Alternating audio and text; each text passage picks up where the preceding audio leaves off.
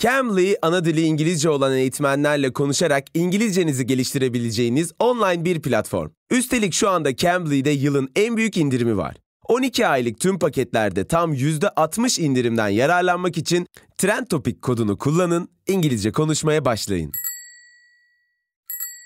Bizce doğru olan etikette yazanları değiştirip adına inovasyon demek yerine insanların gerçekten ihtiyacı olan ürünleri doğru şekilde üretmek. Hayatındaki gereksiz tüketimi azaltma konusunda ciddi misin?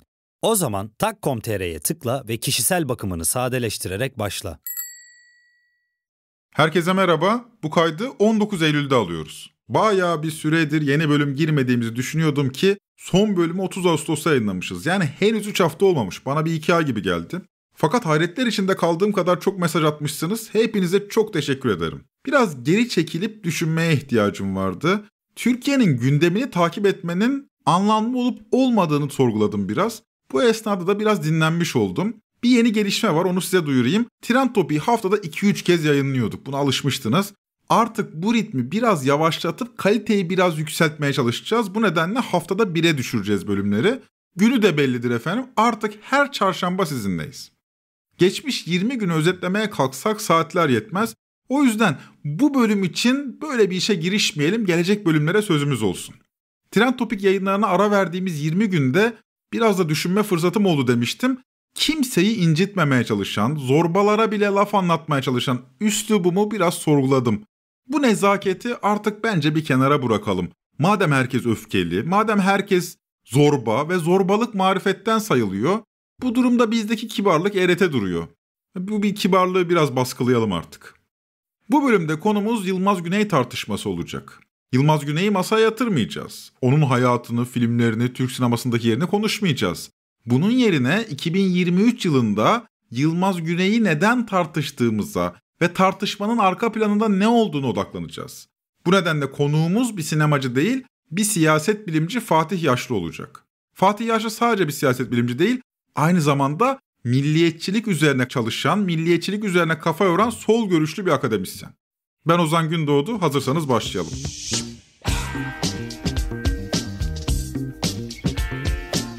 Size de öyle geliyor mu bilmiyorum ancak kendi ana dilimiz olan Türkçeyi giderek daha kötü kullanmaya başladık. Yanlış anlaşılmayayım, şu plaza dilinin Türkçe'ye karışmasından falan bahsetmiyorum. Bildiğiniz ana dilimizde anlaşamamaktan bahsediyorum. Twitter'a 10 yıl kadar önce girdim. Bu platformda sevdiğim şey her şeyin yazılı olmasıydı. Dolayısıyla yanlış anlaşılmalara olanak vermemesiydi. Yani düşüne düşüne yazın kardeşim işte zaten 140 saat sonra 280 karakterlik hakkınız var. Fakat burası da bozuldu. Geçenlerde hangisi daha büyük sorundur diye sorup enflasyon ve işsizliği içeren bir anket paylaştım. Ya bir sürü insan sığınmacılar, kaçaklar onları neden yazmıyorsun, hain misin vesaire vesaire diye bana azar kaydılar. Hainliğimdenmiş. Hangisi en büyük sorundur dememiştim halbuki. Hangisi daha büyük sorundur demiştim. Üstelik ilgi alanı ekonomi olan kişiler bilirler ki enflasyon ve işsizlik ters orantılı çalışıyor çoğu zaman. Bunun vatandaştaki yansımasını merak etmiştim. Neyse. Fakat laf anlatabilmek imkansız hale geldi. Laf dinleyen de yok. Hoş dinlese de anlamlandırabilecek idrak düzeyi de pek yok. Konuyu tarihçi Emrah Sefa Gürkan, Fatih Altaylı'nın Teke Tek Bilim programında, YouTube'daki Teke Tek Bilim programında şöyle yorumlamış. Sokak röportajlarını izledim. Ben öyle politik şeylerden değil. Baktım, bak 2-3 tane şey var Türkiye'de. Birincisi en altta daha az eğitimli. Hani kesimler 6 kelime geçen düzgün cümle kuramıyor. Sokak röportajları da belli. Düzgün cümle kuramıyor. Ortak sınıftakiler mesela Suadiye'de yapmayacak Kemal Kılıçdaroğlu istifa etsin falan diye. Taktın Kemal Ha, yok ama onu izledim ya da neyse. ya abi en çok şey ama okumuş hayır abi okumuş sınıflar o kadar mantık hatası yapamaz. Abi bir argümanlar bak istifa etmeye diye olabilir. Ne, hangi argümanlar bilmiyorum. Argümanları muhakeme yok.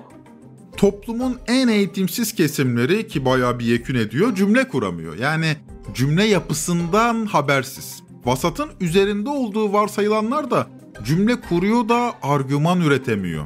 Dolayısıyla diyalog kurarken de zorlanıyoruz. Siz diye hitap ettiğini size sen diye hitap ediyor. İşte kabalaşıyoruz. İşte sürekli yanlış anlaşılmalara vesile olan cümleler kuruyoruz. En kötünün bir tık üstü de kendisini nimetten sayıp etrafa zorbalık yapıyor. Böyle insanları küçük görüyor falan. Şimdi bu tespiti veri kabul edelim ve soralım. Böyle bir toplumun herhangi bir konuyu akıl sağlığı yerinde olacak şekilde tartışabilmesi mümkün müdür? Didişmekten bahsetmiyorum.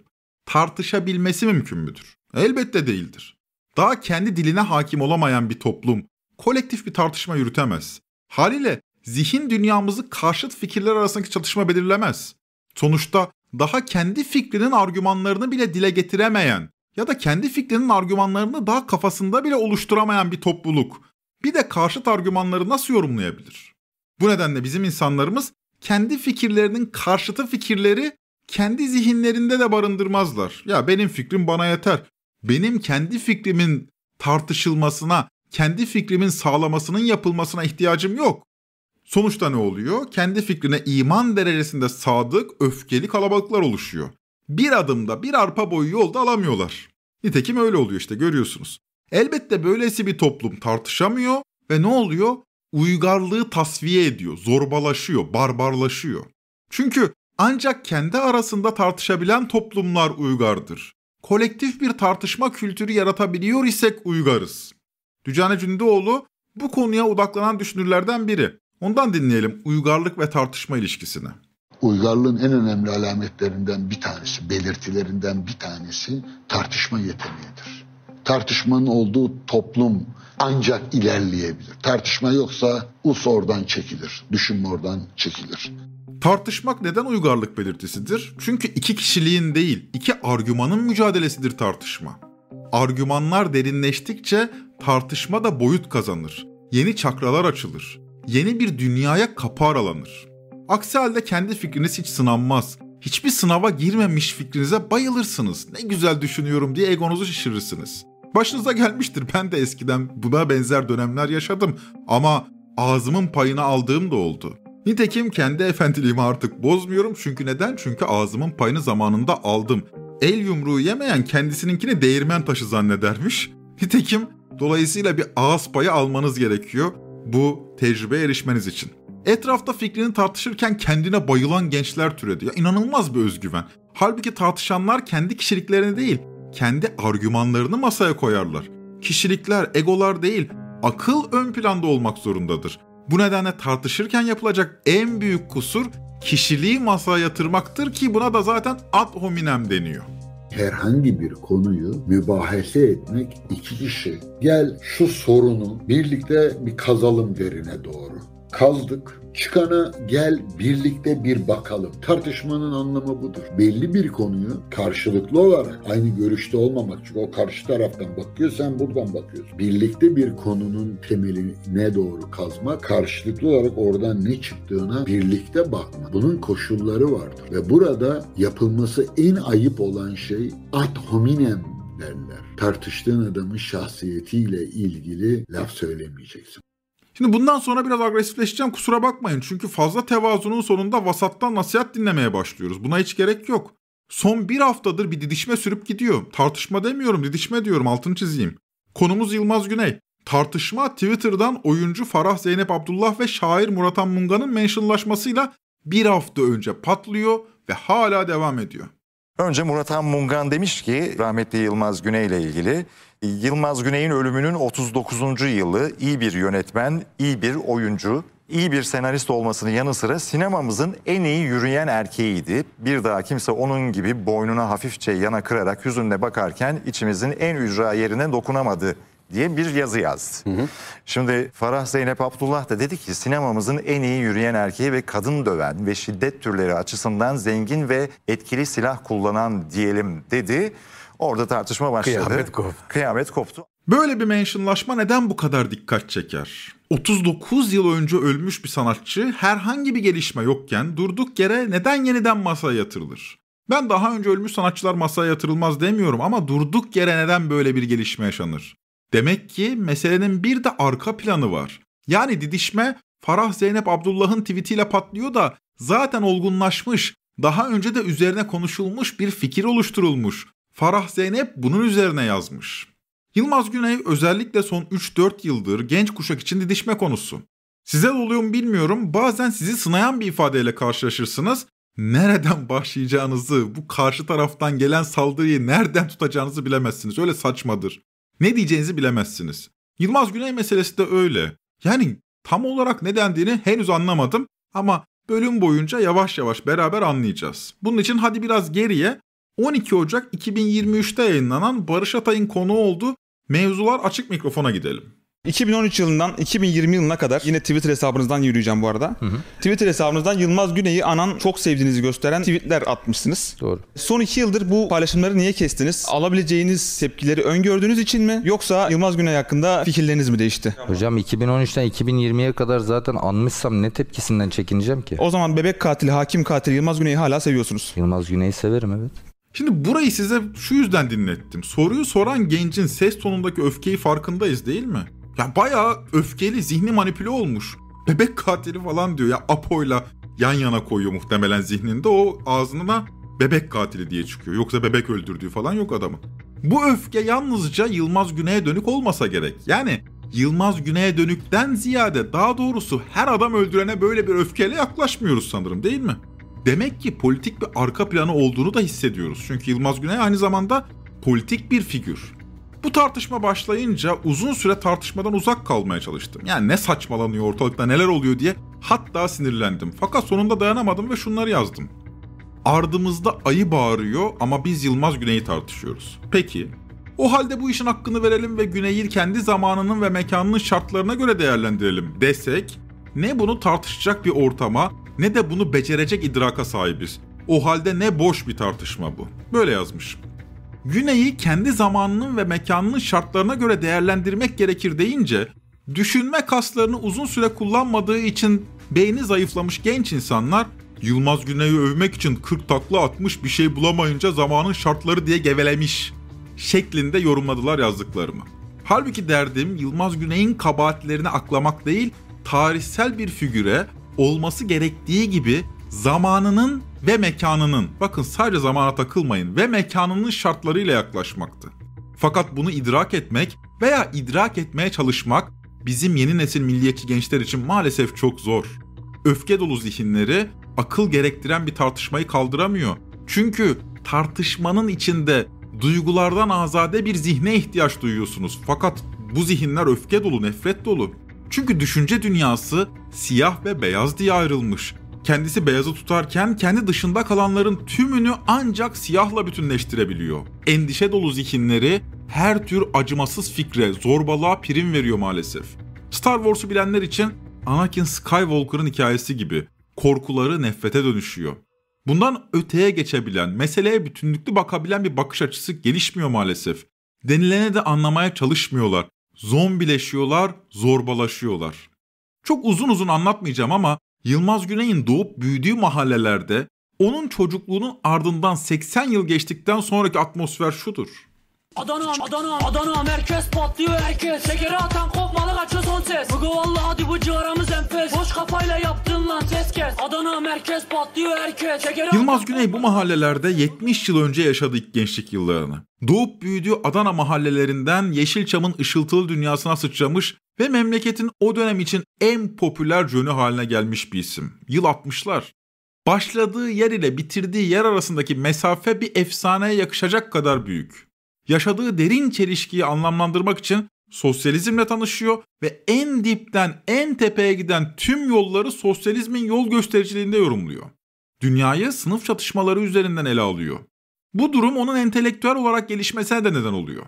Haliyle bu taşra çocuğunu devrimciler, bu taşra çocuğu da devrimcileri çok seviyor. Kendi hayat pratiğinden yola çıkarak gençlere yaptığı şu konuşma bence onun bakış açısını oldukça net anlatıyor. Türkiye'de insanlara, özellikle sizin gibi genç insanlara çok iyi yaşama koşullarının hazırlanabileceği ortam. Eğer ortam hazırlanmazsa siz orada ne olursunuz biliyor musunuz? Bir dinamizmle gangster olur. Kabadayılık hastalığına tutulur, hapishanelere düşersiniz. 20 sene, 30 sene kiminiz ölür, kiminiz kurşunlara dizilir. Kiminiz bir kadına hasta olur, orada genel evin önünde, barın önünde vurulur. Kiminiz esrar kaçakçısı, kiminiz sigara kaçakçısı olarak kaldırımlarda ölürsünüz. Yok, bir tek kurtuluş var. Devrim. Yılmaz Güney İstanbul'a geldikten sonra bar fedailerinin, gangsterlerin, gayrimeşru hayatlar yaşayanların hep yoksul mahallelerden çıktığını, şartların onları bu hale getirdiğini görüyor ve onların mücadelesine katılarak devrimcileşiyor. O da bu hayatı yaşayan bir lümpen kişiyken biraz geri çekilerek resme daha uzaktan bakıyor. Böylece düzene baş kaldırıyor. Yeşilçam'ın romantik filmlerine de baş kaldırıyor ve toplumsal gerçekçiliği Yeşilçam'a taşıyor. Bugün hayatımızda 3 kuruş da olsa ezilenlerin başka bir gözle anlatıldığı filmler varsa Yılmaz Güney sayesindedir. O, Türk sinemasının toplumcu gerçekçi dönüşümünü gerçekleştiren, bunu yaparken prodüktörlere de boyun eğmeyen biridir. Ama kadın dövmüştür, hakim vurmuştur, öyledir de. Kimse onun bu özelliklerini olumlamaz, örnek de almaz. Kimse onun bu özelliklerini yatsımaz da. Mesele Yılmaz Güney'in hayatının tümünü görebilmektedir. Onun doğumunun ardından 90 yıl sonraki Adana lümpenlerine bakın bir. Kadın erkek her anlamda sizce eşit mi? Hayır abi olur mu? Dünde kitapta bile yeri yok abi. Erkek üstün kadından abi. Niye? Biz çalışacak kadınlara bakacak abi. Dinde böyle Kadın abi. gibi çalışacak, ben evde oturacağım, ben evde oturup ya- yatacağım, arvat gibi çalışacak, gelecek bana para mı getirecek? Hangi delikanlının kitabını yazar dayı bu?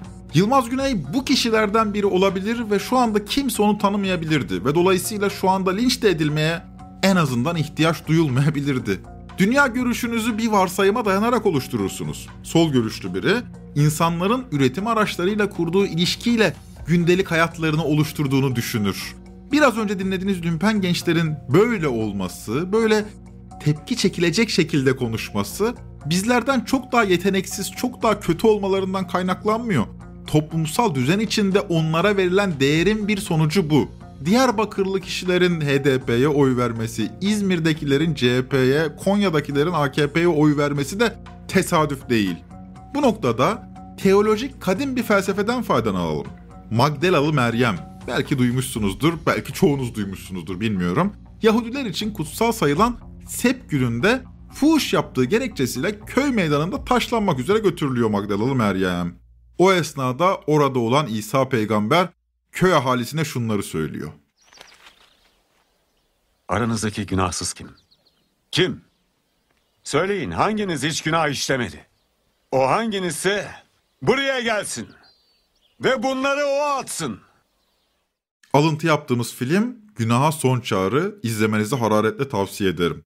Adana'nın kenar mahallelerinde ırgatlık yaparak büyümüş, lümpen bir çocukluk ve ilk gençlik geçirmiş, çocukluğundan bu yana şiddetle iç içe olmuş fakat yolculuğunun sonunda Türkiye'nin en büyük sinema insanına dönüşmüş bu kişiyi ölümünden 39 yıl sonra cancel'layamazsınız. Sevemeyebilirsiniz, küfredebilirsiniz. Zaten tartışmalı bir isimdir Güney. Sevmeyeni de çoktur ama katil, kadın düşmanı deyip cancel'layamazsınız.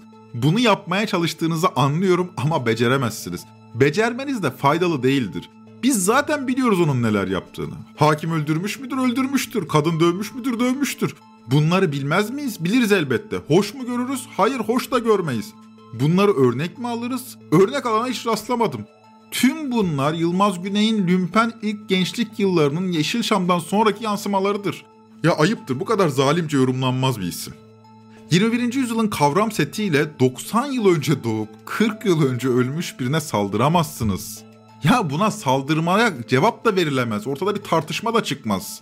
Bir zorbalık yaparsınız. Öyle saman alevi gibi gelir geçer etkisi kalır. Saldıracaksanız ilk taşı en günahsız olanınız atsın. Bu aptallığa bir son verelim. Demagojiyi keselim ve sadede gelelim. Meselenin Yılmaz Güney'in sineması olmadığı çok açık. Daha ideolojik bir saldırı olduğu da ortada. Hemen bir parantez açayım ki zihnimiz bulanmasın. Yılmaz Güney'i sevmeyen herkes onun ideolojisini de sevmiyor o yüzden saldırıyor demiyorum. Fakat tartışmanın fitilini ateşleyen ve ateşe odun atan çevreler ideolojik bir saldırganlık içindedir diyorum. Nitekim Sabah gazetesi yazarı İsmail Kılıçarslan Yılmaz Güney didişmesinden çok mutlu. Aptallığa hitap ederek beslenen herkeste olduğu gibi. Kılıçarslan diyor ki Görünen o ki Yılmaz Güney isimli tanrılarının fanusunda hafif bir çatlak oluştu. Darısı Mahir'inden denizine, Ertuğrul'undan bilmem kimine kadar diğer tanrı ve tanrımsıların başına. Putların devrilmesi memleketin çok işine yarayacak çünkü. Ho putta kırıyor yani İslamcıya bak. Yılmaz Güney yedikten sonra denizlere mahirlere gelecekmiş sıra. Öyledir bu işler. Denizler banka soymuş. Yuu. Mahir İsrail elçisi Erom'u öldürmüş. Yuu. Aptallığın yüzyılında daha ne bekleriz ki? Durun dinleyin deseniz dinlese anlayamayacak bir geri zekalılık evreninde kime neyi anlatabiliriz ki? Burada kısa bir ara döndüğümüzde sözü Fatih Yaşlı'ya vereceğiz. Cambly'de tamamı ana dili İngilizce eğitmenlerle birebir ya da grup derslerinde İngilizce konuşabilirsiniz. Üstelik Cambly'de tamamen sizin seçtiğiniz saat ve günlerde sıfırdan gramer öğrenebilir, aksanınız üzerine çalışabilir ve ders programlarıyla kapsamlı bir İngilizce eğitimi alabilirsiniz. Şu an Cambly'de yılın en büyük indirimi var. 12 aylık tüm paketlerde net %60 indirimden yararlanmak için Trend Topic kodunu kullanarak ayda 299 TL'den başlayan fiyatlarla bugün İngilizce konuşmaya başlayabilirsiniz. Bugün birileri için tak teslimat günü. Esnek abonelik sistemimiz ile hayatını sadeleştiriyoruz. İstediğin kişisel bakım ürünlerini istediğin sıklıkta kapına ulaştırıyoruz. Tak.com.tr'ye gir, abone ol, bittikçe yenisi gelsin. Diş macunun, şampuanın, el sabunun hiç bitmesin. Çünkü Tak, senin hayatında kişisel bakımdan daha önemli olan şeylere odaklanmanı istiyor. Konu Yılmaz Güney sineması değil, güneye dönük bir ideolojik saldırıya dönüşmüş durumda vaziyet. Bu nedenle konuyu bir sinemacıyla değil, siyaset bilimci Fatih Yaşlı ile konuştuk. Fatih Yaşlı, Yılmaz Güney saldırısının arka planında seküler popülist milliyetçi yükselişin yattığı görüşünde. Bu yükselişte nirengi noktasının da sığınmacı ve göçmen krizi olduğunu söylüyor. Türkiye'de milliyetçilik, Atatürk milliyetçiliği dışındaki milliyetçilik ortaya çıktığında konjonktür antikomünist olmayı gerektiriyordu. 90'lı yıllarda buna Kürt düşmanlığı eklendi. Bugün geldiğimiz noktada ise yeni bir olgu var. Göçmen meselesi. Yani Türkiye'ye Suriye'den ve Afganistan'dan gelen göçmenler ve o göçmenlerin yeni tehdit algısı olarak görülmesi, beka meselesinin bir numarası olarak görülmesi, listenin en tepesine yazılması işleri biraz değiştirdi. Dolayısıyla ben şunu söylüyorum. Bugünkü seküler milliyetçilik seküler ve popülist bir karakter taşıyor. Nasıl ki Avrupa'daki yeni ırkçı faşist hareket motivasyonunu, gücünü büyük ölçüde göçmen karşıtlığından, göçmen düşmanlığından alıyorsa, Türkiye'deki yeni bu seküler milliyetçi dalgada sağ popülist bir karakter taşıyor. Yaşadığımız tüm yapısal sorunların nedenleri büyük ölçüde teorik zeminde çözümlenebiliyor. Yani bunları anlayabilmek için 3 aşağı 5 yukarı eğitimli bir zihin gerekiyor. Fakat sığınmacı krizi öyle değil. Görünüyor. Gözümüzle görüyoruz. Her sokağa çıktığımızda, her otobüse bindiğimizde bize yeniden hatırlatıyor kendisini. Fakat sığınmacı krizinden yola çıkarak yeni bir politik akım yürüyor. Bu yeni akım elbette tarihi kendi çerçevesinden yeniden okuyor. Kimilerine itibar kazandırmaya, kimilerine itibar suikastleri yapmaya çalışıyor. Bu sağ popülist siyaset Özdağ'ın başını çektiği yeni bir takım tarihsel kahramanlar ve mitoslar yarattı. Yani bir yandan örneğin Mustafa Kemal Atatürk'ün izinden ve peşinden gittiklerini söylüyorlar ama öte yandan Mustafa Kemal'in doğrudan sağcılaştırılmış bir yorumuyla karşı karşıyayız. Biz Mustafa Kemal'in örneğin cumhuriyetçiliği, halkçılığı, demokrasiyle kurmak istediği ilişki bunlara bakılmıyor. Adeta Mustafa Kemal Türkçü, Turancı, ırkçı bir figür olarak sunuluyor. Yani onun reel siyaseti, realist bakış açısı, Türkiye'yi sadece misak-ı milli sınırlarından ibaret görmesi bunlar konuşulmuyor. Ona adeta böyle bir Turancı, Türk dünyasının lideri, Türkçü bir figür olarak bakılıyor. Bu yanlış. Önce Atatürkçülüğü yeni seküler bir din gibi kavra. Daha sonra bu dinin peygamberi statüsünde kodladığın Atatürk'ü kendi ideolojine uyumlu hale getirerek yeniden tanımla. Bak bak 12 Eylülcülerin yaptığı şeyin aynısını yapıyorlar. 1920'lerin 30'ların Türkiye'sini ve dünyasını yeterince değerlendirme fırsatı bulamamış zihinlere mistik bir Atatürk anlatısı sunuyorsunuz. Ondan sonra Atatürk'ü sömürüyorsunuz. Ne güzel değil mi? Tıpkı İslamcıların yaptığı gibi mistifize ettiğin anlatıdan politik rant devşiriyorsunuz. İtiraz edeni de hainlikle damgalıyorsunuz. Tarihi de dilediğince çarpıtıyorsunuz. Mesela Kemalizmle iddiatçılığı tek potada eritiyorsunuz. Enver, Cemal ve Talat Paşaları Mustafa Kemal'le denkleştiriyorsunuz. Ardından dönüyorsunuz Nihal Atsız'a yöneliyorsunuz. Buradan geliyorsunuz Türklüğü Orta Asya steplerinde aranan bir ırka dönüştürüyorsunuz. Yani ben meselenin basitçe Yılmaz Güney olmaktan ziyade içinde bulunduğumuz siyasi konjonktürle doğrudan bağlantılı olduğunu, yeni bir söylem inşa edildiğini Türkiye'de, Türkçülük adı altında yani örneğin Türkeş uzun yıllar boyunca 1944 ırkçılık Turancılık davasından sonra Türkçülük kavramını kullanmaktan vazgeçmişti. Onun yerine Türk milliyetçiliği diyordu. Şimdi Türkçülük adı altında Nihal Atsız'ı da dediğim gibi bu sürece dahil eden, Enver'i de dahil eden, Mustafa Kemal'i de dahil eden, Türkiye tarihini ırkçı milliyetçi bir zaviyeden okuyan ve bugünkü Türkiye siyasetini de benzer bir şekilde okuyan yeni bir akım doğuyor. Bu akım bile örneğin bazı genç arkadaşlara hafif ve zayıf geldiği için sağda solda biz Nazi bayrağı açan çocuklar görmeye başladık. Böyle bir politik arka plan yaygınlaştıkça çarpık bir tarih okuması bir nevi put yıkımına girişiyor. Kimdir bu tarihte itibar atfedilen fakat bizim bakış açımıza göre bir değeri olmayan kişi? İşte Yılmaz Güney. O halde hadi bu putu yıkalım. Yılmaz Güney tartışması böylesi bir konjonktürün ürünü. Yani yapay bir şekilde gündeme getirilmedi. Yoksa ölmüş gitmiş üzerinden 40 yıl geçmiş bir insan neden bir kez daha hedef tahtasına yerleştirilsin? Bu güncel siyasete bu yeni sağ popülist akımın, seküler milliyetçiliğin müdahale araçlarından biri. Özellikle genç kuşağa bir takım isimler hedef gösteriliyor. Bu isimler solcu, sosyalist kimseler Yılmaz Güney ile başlandı. Dediğim gibi güya kendilerince bir put yıkımına girişmiş durumdalar. Bir ikona kırıcılık yapıyorlar kendilerince. Bunun gideceği yer Türkiye'de sağcılığın, faşizmin, milliyetçiliğin daha da güçlenmesi olur. Seküler popülist milliyetçi yükselişin sıçrama rampası sosyal medya. Yani sokakta göremiyoruz böyle seküler milliyetçi bir yükseliş. Sosyal medyada kahramanlaşıyorlar. İslamcılık karşısında onun antikoru olarak seküler milliyetçiliği kodluyorlar. Milliyetçilikten de kastım Türklüğü ne kadar severseniz o kadar iyi. Devletin kadim düşmanlarına ne kadar düşmanlık ederseniz o kadar iyi. Yani burada milliyetçilik de çeşit çeşit biliyorsunuz. Burada devlet milliyetçiliği var. Fakat bu tip bir milliyetçi dalgayı 2000'lerde de görmüştük. Yani daha farklıydı ama 2000'lerde de daha ziyade o zaman ulusalcılık olarak ifade edilen bir milliyetçi damar vardı. Ama ulusalcılık sol değerlere daha yakın, anti-emperyalist bir bakış açısı olan, denizlere, mahallelere sahip çıkan bir damarı temsil ediyordu. Şimdilerde MHP'den ayrılan bir fraksiyonla karşı karşıyayız. Soldan nefret ediyorlar. Soldan nefret edebilirler. Yani benden ya da sizden ya da başka birinden nefret etmeleri önemli değil. Sol değerlerden, eşitlikten, özgürlükten de nefret ediyorlar. Daha doğrusu bunları çok daha çarpık kavruyorlar. Çok daha saldırgan bir üslupları var. Bir de şu var tabii. 2000'lerdeki ulusalcıların lafını ciddiye alabileceğimiz aydınları vardı. Gerçekten de öyleydiler. Timur Selçuklar, Atilla İlhanlar, 90'lara gitsek öldürülen aydınlar falan. Şimdiki yükselişin aydını yok. Bu çocuklar erlik gibi, jahreyn gibi sosyal medya zibidilerinden besleniyor, zombileşiyorlar. Peki zombileşen bu gençlikle nasıl bir iletişim kurmalı? Fatih Yaşlı agresif bir dile ihtiyacı olduğunu düşünüyor. Yılmaz Güney tartışmasında örneğin ben çok sert bir çıkışla doğrudan politik bir tartışma yerine zaman zaman daha böyle dozajı yükselten bir üslubun daha doğru olacağını düşünüyorum. Çünkü ortada politik bir tartışma yok. Yani karşınızdaki biri size ya bu herif zaten katil, bu herif zaten kadın düşmanı falan dediğinde siz tartışmayı politik bir yerden kuramazsınız. Sanki bizler Yılmaz Güney'i evet ya ne güzel oldu bir savcıyı da vurmuş, o karısını da dövmüş falan diye savunuyormuşuz gibi. Böyle bir durum söz konusu değil. Yılmaz Güney'in bu kötü özelliklerinin övünç konusu yapıldığını şu zamana dek görmedim. Yani ne güzel hakim öldürmüş ya karısını da ne güzel dövüyormuş aferin yakışan da odur falan dememiş. Bir tanesi yazmış Hitler'le de empati yapalım o zaman diye. Ya başta dinlediniz Emrah Sefer Gürkan Hoca'yı. Bizde cahilimiz cümle kuramaz, eğitimlimiz de argüman üretemez. Ya aynı şey mi be? Hitler'le Yılmaz Güney aynı mı ya? Yuh artık ya. Hiç mi aranız yok ya?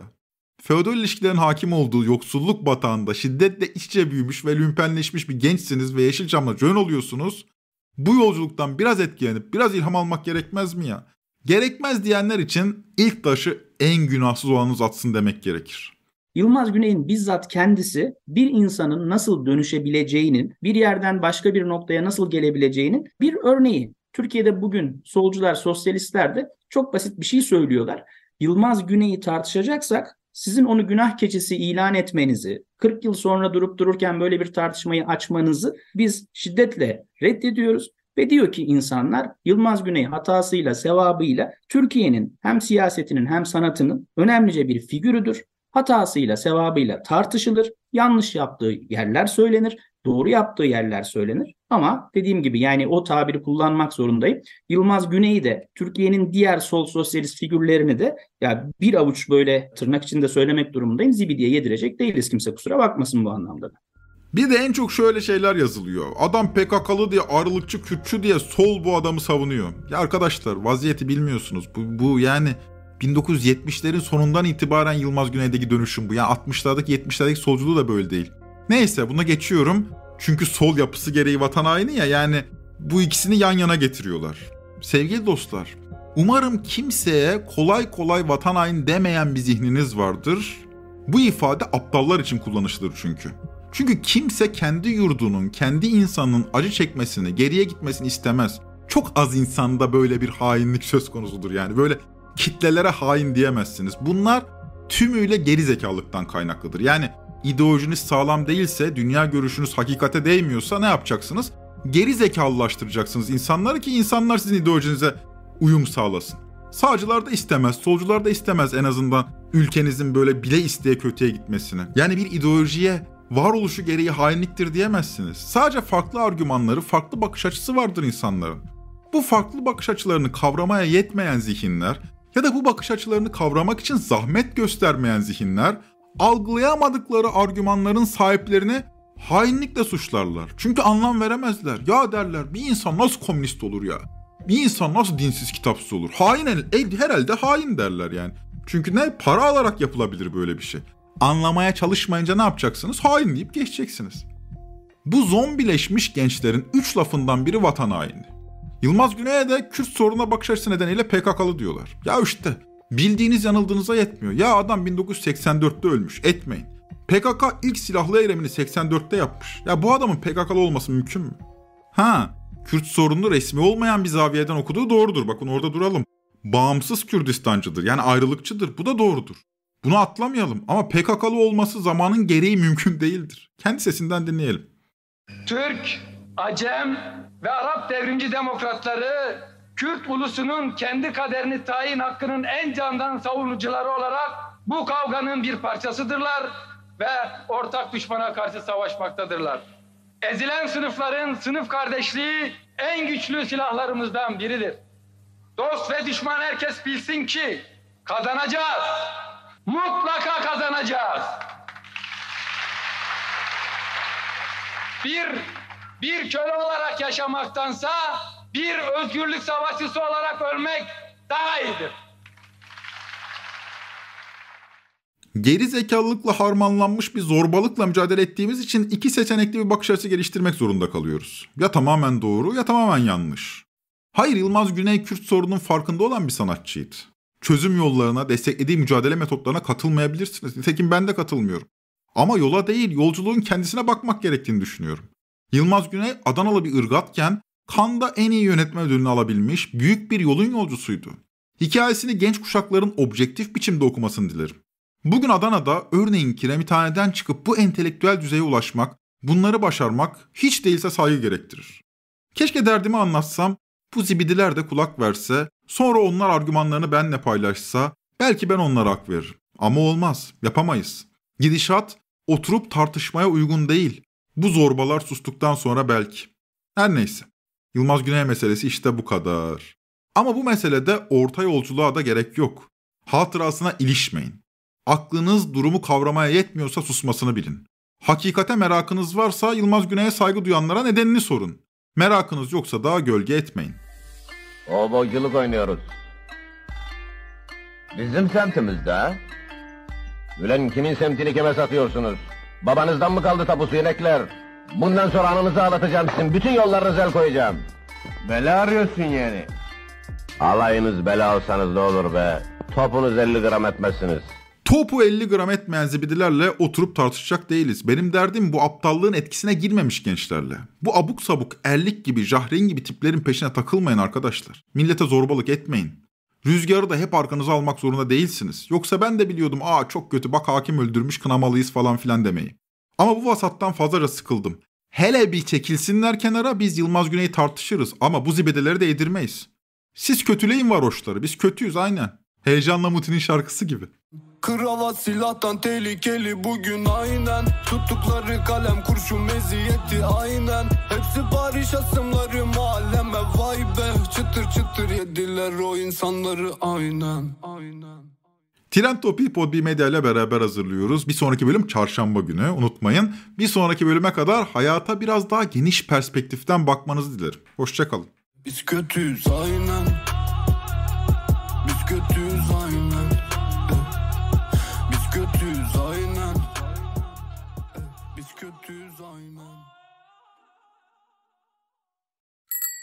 Cambly ve Cambly Kids'te 12 aylık tüm ürünlerde geçerli net %60 indirimi kaçırmayın. Ayda 299 TL'den başlayan fiyatlarla yılın en büyük indiriminden tükenmeden yararlanmak için Trend Topic kodunu kullanmayı unutmayın. Temiz ve canlı hissetmek hepimizin ihtiyacı. Tak, bir dizi üstün formüllü ürün sunarak kişisel bakımını basitleştirmene yardımcı olur. Sadece gereken kişisel bakım ürünlerini kullanarak sen de aşırı tüketimin karşısında durabilirsin. Seni Tak.com.tr'ye bekliyoruz.